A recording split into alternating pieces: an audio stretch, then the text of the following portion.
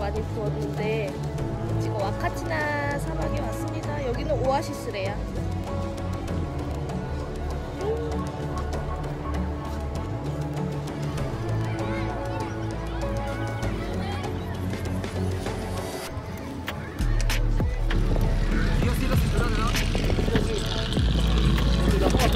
Sabe.